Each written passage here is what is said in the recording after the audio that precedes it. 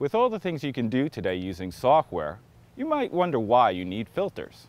Well, certain filters like circular polarizers change the way the light enters your lens.